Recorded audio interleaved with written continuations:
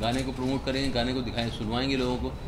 और आपसे हो सके तो आप भी दिखाइएगा अपने चैनल पर। जी, बिल्कुल है। जो मदारी का एक एक लाइन है जो बहुत, कई बार आता है इस फ़िल्म के अंदर।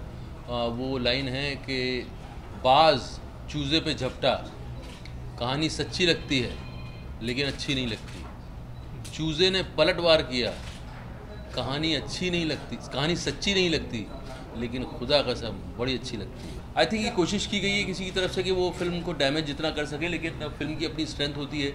और ये जो है हमारी इंडस्ट्री के लिए बहुत ही बहुत ही डेंजरस बात है। और ये ऐसा पहली बार नहीं हुआ है, ऐसा पहले भी हुआ है कई दो चार फ़िल्मों के साथ और हुआ है, और वो जहाँ से भी हुआ है, वो एक कॉमन सोर्स है, जहाँ से ये होता है लीक और इस पर आई थिंक इंडस्ट्री को सबको एक साथ आना चाहिए और इस पर इसका, इसको ख़त्म करना चाहिए इस चीज़ को।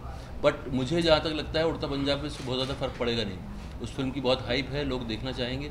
और जो क्वालिटी होती है, उस तरह की लीकेज की क्वालिटी जो होती है, वो उतनी अच्छी होती नहीं है। बट ये आई थिंक इंडस्ट्री सारी इंडस्ट्री को साथ में आना चाहिए।